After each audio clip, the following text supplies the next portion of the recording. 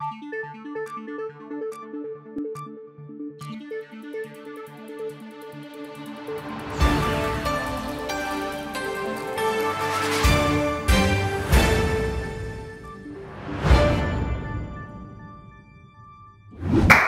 right, in three, two, one.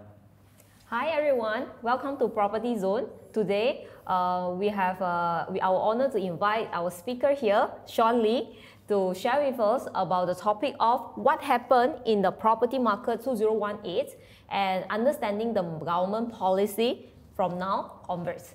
Welcome. Good to see you again, Ashley. Yeah. Yeah. So uh, before we get started today, in order to win the prize, you can actually answer the questions. So our questions today is, what do you think about Malaysia property markets from now onwards and why? So you answer this and you will win. Uh, you will win our this Sony LCD radio alarm clock. All right.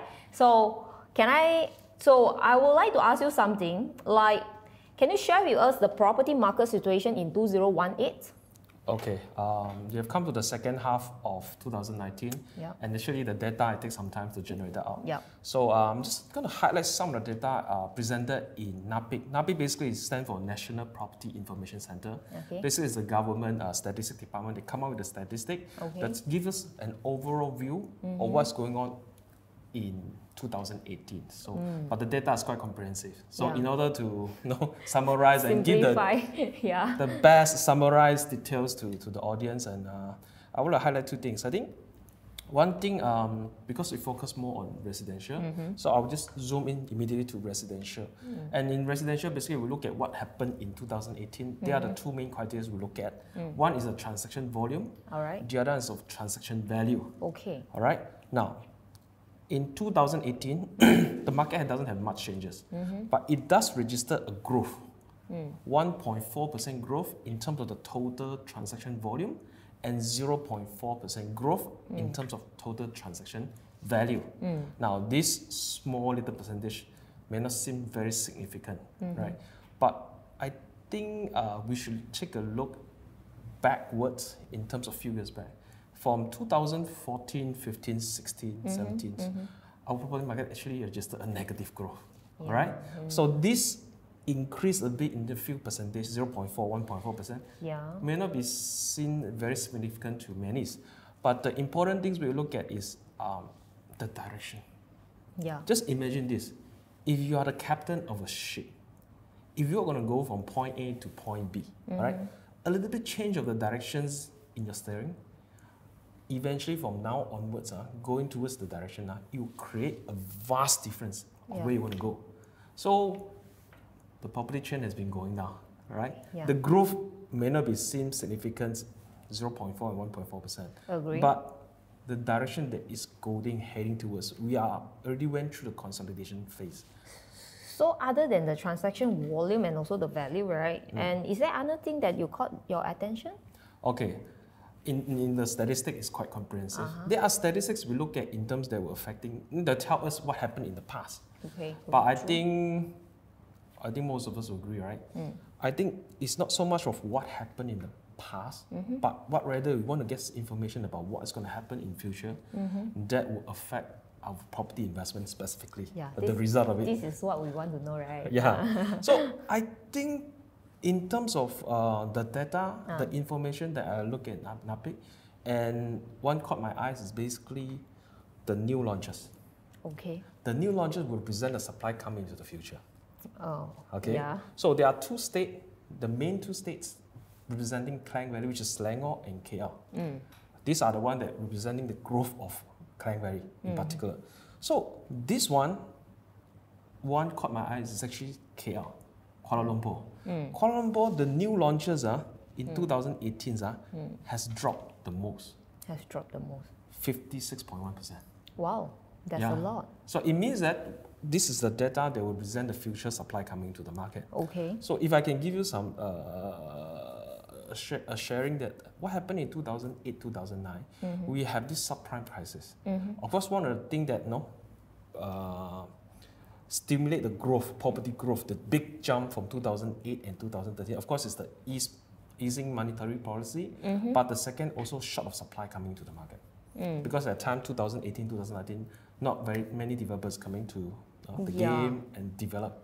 Because So- of some uh, some uh, rules and regulations. rules and regulation, market sentiments. Don't, Yeah. They don't know whether if they come up with the project they will buy or not. Yeah. So I think we are seeing a similar thing at this moment. There's developers are cutting down a lot of new launches. Mm, yeah. Sentiment, there's one Mm-hmm, thing. Uh, ongoing trade war effects, and also they are looking at the bank's lending criteria. It's, uh, it's quite It's, tough. it's a yeah. so it's very that's tough. why I think that's main the, the main reason you see a sharp drop in terms Mm-hmm. of new launches, especially in KL, Mm. 56.1%, which is tremendous.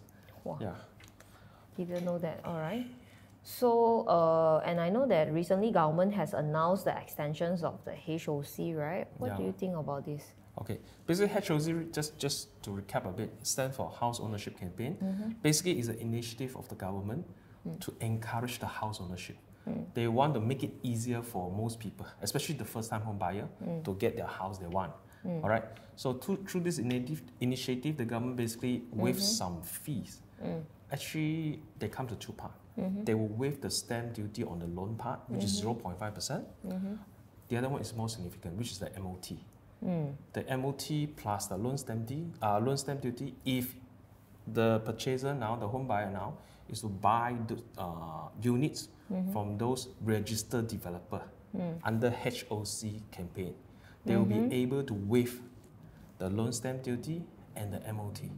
So in this case, the house ownership to buy a house, especially for first time home buyer, is easier. So previously it was from June, now extended to end of the year. This shows that the government actually encourage more those kind of uh, first-time home buyer to buy house, right? Yes, especially. So you're looking at again, it's, it's actually the direction because not too long ago we are seeing um, bank are tightening credit, Mm-hmm. and the government actually introduced the even after five years you still have to pay the five percent RPGT. Yeah. So this is seen as a cooling measurement. Mm. Started uh, from the budget last year. Yeah. So now it has come to the second half of the year. You're mm-hmm. seeing some changes. The first, of, course, um, this HOC encouraging home ownership, mm. and second, not too long ago they cut the OPR, the mm. overnight policy rate. Yeah. So what I'm seeing is the government towards the property market, the direction mm-hmm. and the measurement is still a bit different in terms of direction wise. Yeah. Yeah. So that's why just now you mentioned that you know like uh, our development has been reducing, and uh, of course the government increased on I mean uh, extended on the HOC.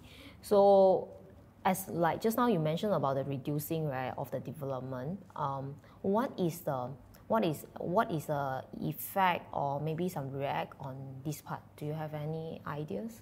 What was affecting? Yeah. I think the other one, uh, if you can remember, basically is the plot ratio that I talked to you before. Because Yeah. now, uh, reduced plot ratio. That means that last time, if you buy a piece of land as a developer, you mm. can build more mm. condos. Mm. But now, the plot ratio now is limited to 10 maximum. So basically, compared to those who are going to approve at 13, 14, mm-hmm. now those who have not started work need to reapply, and the maximum plot ratio is kept at 1 to 10. But is this a good thing for the for the development and for the economy or not? Um, of course, there are pros and cons to it, but Mm-hmm. from developer point of view, os, if I buy this piece of land Yeah. now, because of the new uh, regulation, I can only build less house. Yeah, but I think this is not good for developer, right? Yes. But how fact- about from the from the from the this demand the buyer side, like from like us? Okay, from property buy, it also depends, right? Whether you, ha- you are the person who are looking to buy a house, or you Mm-hmm. bought a house, or you have few houses. Mm. So one of the spillover effect from this higher ratio, it Mm-hmm. could be, let's say, running a business from business point of view, I'm the developer. Mm-hmm. Now by using the same piece of land, I Mm-hmm. can build less house. Mm. The feasible thing for me to do is basically I need to increase the selling price of the house because I have less unit to sell. Yeah, the supply is lesser. Supply is lesser. I, need, I need to increase the price times the top number of units in this development Hmm. so that I can still get the business revenue according to my target. Yeah. Yeah. So if it's good or bad, but of course it's not so good for those not yet buying, Yeah. but are looking to buy later. Yeah. But of those who, Who are already bought. already bought, this could be a cost a cost push effect from Hmm. the surrounding project. I see. Yeah. Ah, that would be great, huh? So then, um, because I know that uh, just these few years, because how, uh, our housing ministers announced that the PTPTN payment uh, the amounts that recorded will be taken off from these uh, CCRIS, right? Yeah. So what is your view then? Okay, I think if you have read news, if you read Facebook, a newspaper, PTPN has been a big things even after the new government took over, right? yeah. At first they said they want to abolish it, Yeah. right? No need to pay, everybody's so happy. Then suddenly, no, Everybody have to they pay. feel that you can't because Yeah. the total amount owed in PTPN hmm. is greater than the 1MDB saga. True.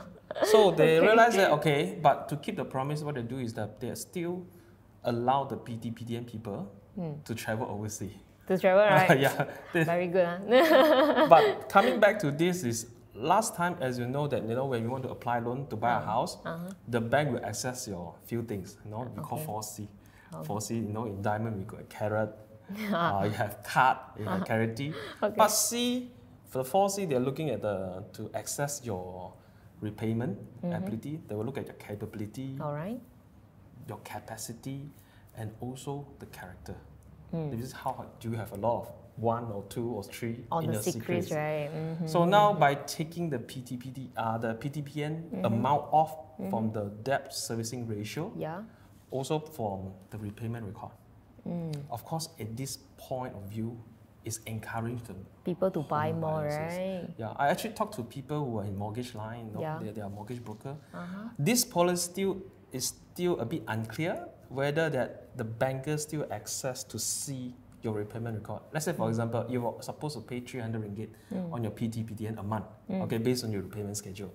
But if you are not been paying for six months, Mm. right?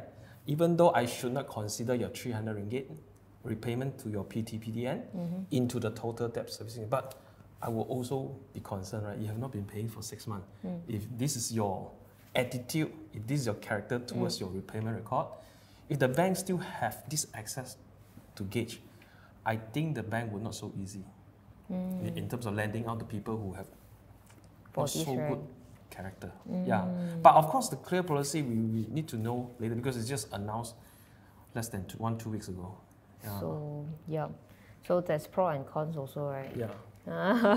so then how about the foreigner like the out, outside of Malaysia? So any international news you can also update us? Yeah, I want to share. Sometimes when you want to find out what happened in Malaysia property or where it's going to go, sometimes not just what happened internally, but I think internationally it will affect us also. Yeah. So uh, to summarize a few of the things I, will, uh, I, I can share with uh, all of you today is uh, I think first we look at US because US is going to be the superpower, it's still the superpower of the world. Yeah. And what we are looking at basically the monetary policy from US, which is determined by Fed, Federal Reserve. Federal Reserve is basically like a bank negara. They're the one who determine you know, what's the interest rate going to be. Mm. So from end, until end of last year, they're still talking about increasing the interest rate because the stock market in US has been going so well, doing so. Mm. Just yesterday, Dow Jones, you know, S&P 500, they have the records highest uh, what is it, performance. Mm-hmm. Never in US history, Dow Jones and S&P can reach this high. Oh. So, but at the same time, because of the trade war mm-hmm. uh, ongoing, it's thus affecting China, US, and the rest of the world.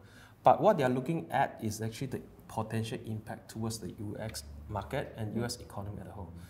So, So now US short, is considered good.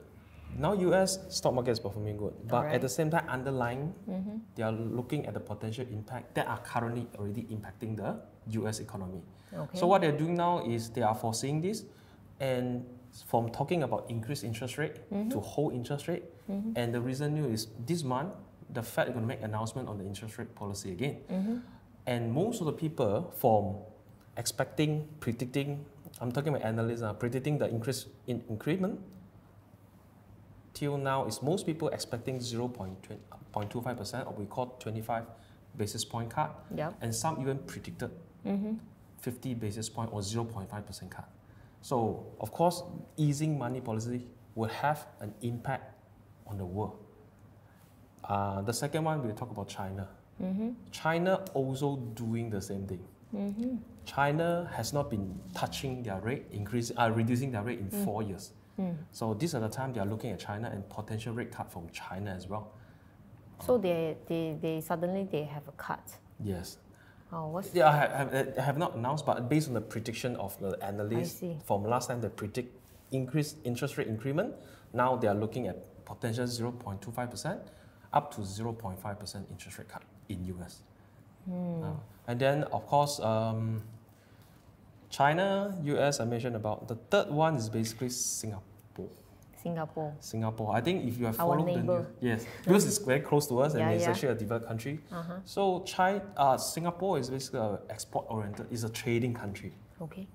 But what happened in Singapore now? Mm-hmm. They are the one feel directly from the U.S. and China trade war, and in fact, in the last ten years, Mm-hmm. okay, their GDP result just came out. They base GDP just a gauge to see how well the economy is performing from any country. Mm-hmm. So Singapore, on annualized basis, ah, Yeah. their GDP is contracting. 3.4%. Meaning it's shooting up, It's going down. going down. It's going 3.4 down. going down. Negative 3.4%. Ah, So. Malaysia is growing, if it's at 4%, that means the economy is growing at 4%. If you have Oh. negative 3.4 annualized, that means this going down. country, the economy is contracting, is reducing by 3.4% Okay. every year. Mm. So But what what's the reason that you know they, I mean they're being things to do so is much? affected trade war. Trade war. because Singapore is trading a lot. So Mm. when the trade stop, China's you know, imposing tariff on uh, US and US imposing tariff on China. They still the trade from share. US uh, from Singapore will be definitely affected. Yeah. Yeah. So other than that, do you have any others to share with us? I think the future one uh, that will direct implications will be the internal one. The internal. So the one we mentioned, uh, no, the redux, uh, reduction in OPR Mm-hmm. recently. So they are also looking at will Malaysia reduce the OPR if US, China, Singapore is reducing. So what I'm What do you about, think? if China, US, and Singapore Yeah. will be reducing interest rate, I think not just Malaysia, I think the rest of the world Uh-huh. will actually have to draw back. Mm. So if because if they're not having a big disparity in terms of Mhm. interest rate between Malaysia and China, US, your economy cannot survive. So I can foresee that because of our OPR has been reducing, well, which are on the f- first phase, and uh, our this HOC, HOC has been extended as well, and PTPTN has been also, you know, uh, being uh, given a green light that you know they don't need to check on the CCRIS. So with all this, right, I would say it's actually a, a positive sign Yeah. that for the next six half of this 2019, I think will be very good, right? And the other things that I will add on is that talking about government policy, the one we mentioned is really what they have done. All right? right. But just imagine this: Mm. there are two things. Uh, I think is the two of the biggest hurdles in terms of property market to Mm. grow. All right. Of course, the, the first one is the LTV 70%. We already know that people who have more than two mortgages, their Yeah. maximum loan amount for the Yeah. third is 70%. Yes. There's one in place. And the second one is the RPGT, right? Mm. After more than five years, you're supposed to pay the 5%. Yes, yes. But these two are not fixed rule forever. Yeah. You remember the changing of direction of the governments Yeah. towards encouraging the house ownership? Just imagine this. If you are a property investor, if, or you are interested in property, right, looking to buy, just take a moment and think about this. What if today, right? I say, what if today, Mm-hmm. or what if the, in the near futures, the government take away these two policies? For example, if they're no longer implementing the LTV 7%, percent Mm-hmm. because they want to encourage more Mm. home ownership, Mm-hmm. or they give it a more flexible or lower the the RPGT rate. Maybe instead of more than five years, Mm-hmm. Yeah. limit to five years, instead of thirty percent, they reduce to twenty percent. Yeah. This would actually have a direct impact. Yeah, yeah, The yeah. government. So today I will share with you is not just of what has the government announced, Mm-hmm. and based on the direction they are taking now towards encouraging Mm-hmm. the house ownership. Mm. I'm actually expecting the next move as in, what if they stop doing this LTV 7% Mm-hmm. or reducing the RBGT rate? Can you imagine the, the impact, the sentiment they would give and translate to the property market? So, are you taking the positions? Mm. Yeah. Because sometimes, normally the one who make the most is the one Who are the making a move stay ahead. Yeah. Yeah. Mm, so the uh, the this one is actually based on the buyers, you know, whether they see it on the positive sides or whether they think that you know that whether they want to put a hold. But as for what I see from here, I think government actually. Um, they really encourage the home buyers to buy now so that you know like uh, we have a lot of benefits in, instead of like last year we don't have all these things so we can save some costs as well and uh, I was I, I can foresee that if let's say governments they they, they take off the just now the two option talking about the LTV and also this uh, what's what's the another one The RPGT. Yep, the RPGT. Then Of it course, it's not announced yet, but I'm just thinking about what if, and Yeah. we start can analyzing the impact. Yeah, but I think that now will be uh, at, as for now it is considered a very good signs that you know that we can actually invest. So thank you so much for coming today and you. looking forward to see you again. Before we end, uh, just to remember that uh, we in order to win our Sony LCD's uh, radio alarm clock. So what you can do is you can answer these questions. So uh, what do you think about Malaysia property market from now and onwards? So see you again. Thank you. Thank you. Bye bye.